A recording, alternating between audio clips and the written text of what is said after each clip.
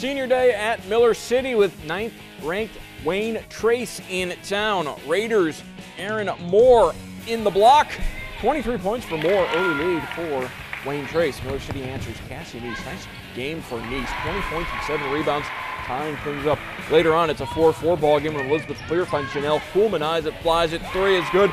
Miller City up front, and the Wildcats go on to pick up the victory over Wayne Trace 63 to 57.